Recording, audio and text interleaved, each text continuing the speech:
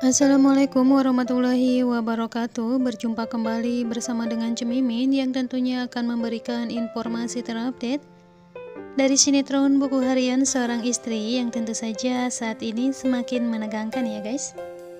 Nah sahabat Mimin yang di mana di episode kali ini kita telah mengetahui bahwa akhirnya Kevin dan juga Ika berhasil menjalankan rencana dan juga misinya ya guys Hingga akhirnya rumah sakit yang tempat Nana dirawat bersama dengan Alia akhirnya mengalami kebakaran yang tentu saja sangat cukup begitu hebat.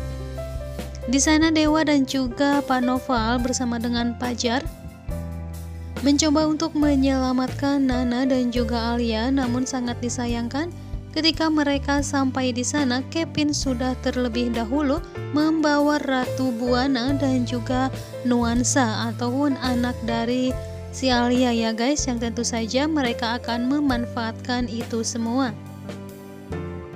Nah sahabat Mimin tentu saja kali ini Kevin telah berhasil membawanya dan akan membawa anak mereka ke sebuah tempat. Tentu saja Kevin tidak akan membawa anak Alia dan juga Nana ke rumahnya karena tentu saja mereka akan curiga kepada Kevin dan juga Ika sehingga Kevin sudah bisa membaca semua ini ya guys. Di sisi lain tentu saja Pak Novel dan juga Dewa bersama Pajar tidak akan membiarkan begitu saja sampai detik ini mereka masih tetap berusaha untuk mencari anak Nana dan juga Alia ya guys.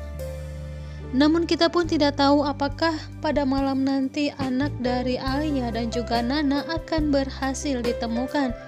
Sepertinya tidak semudah itu ya guys karena Kevin akan berusaha bagaimana caranya agar mereka tidak menemukan anak dari Nana. Nah tentu saja sahabat Mimin yang di mana si Alia juga memang sangat begitu jahat ya yang di mana dia juga berencana untuk menukarkan bayinya karena ingin anak dari Alia ini hidup berkecukupan dan juga mewah seperti anak dari Nana. Namun sangat disayangkan ketika Alia akan menukarkan anaknya bersama dengan anak Nana malah terjadi kebakaran hebat tersebut.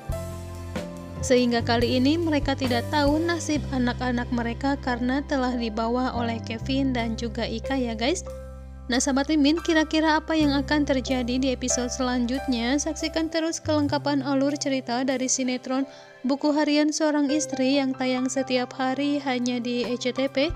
Wassalamualaikum warahmatullahi wabarakatuh.